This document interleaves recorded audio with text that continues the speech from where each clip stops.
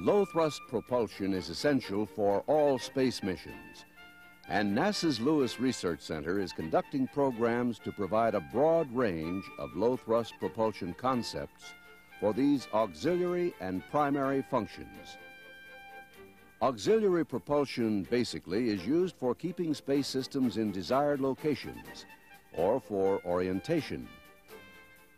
Typical examples are the reaction control systems for Earth to orbit vehicles, drag makeup and attitude control for low Earth orbit systems, such as the space station Freedom, station keeping for higher orbit systems, such as geosynchronous satellites, and then retro functions near planetary bodies. Primary propulsion functions include the moving of space vehicles from point to point in Earth space as well as propulsion from Earth space to various planetary bodies. On Earth to orbit vehicles such as the Shuttle Orbiter, low thrust propulsion systems are used to control the orientation of the vehicle. Examples would be to control the movement of the shuttle orbiter to face the sun or reorient it to meet other specific requirements and then to deorbit the shuttle for its return to Earth. The low thrust devices used for these applications are called reaction control systems. For use on the space station Freedom, two different kinds of low thrust propulsion systems have been selected. For drag makeup, thrusters called resistojets will be used. These resistojets will use the waste gas from the various space station modules.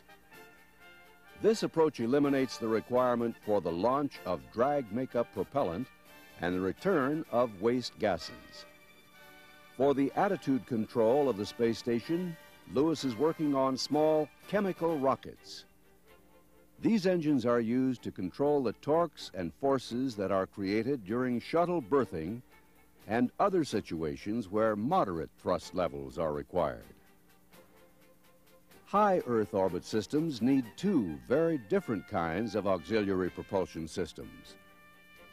First, when geosynchronous satellites are placed into orbit, an apogee propulsion system is required to circularize the satellite and place it into the correct orbit. The geosynchronous orbit is the one that makes the satellite appear to be in a fixed position when viewed from the Earth. In order to keep the satellites in desired orbit, NASA Lewis is working on very low thrust electric rockets called arc jets. A final example of auxiliary propulsion is the use of chemical rockets near planetary bodies. It is necessary to provide a retro propulsion maneuver at planetary bodies so they may be captured and allow the spacecraft to go into orbit around the bodies, or simply to slow down to obtain desired data. Primary propulsion is being developed for use in both Earth orbit and for planetary missions. Planetary missions include the transfer of systems to beyond Earth space to such targets as planets, comets, and asteroids. In summary, then, all space missions use low thrust propulsion in one form or another. The Lewis Research Center is conducting a low thrust propulsion program utilizing an in-house, university, and industrial team. This blend of skill and capability assure that the program will develop practical devices for near-term applications and at the same time produce more advanced concepts for the longer-term, higher payoff national space missions.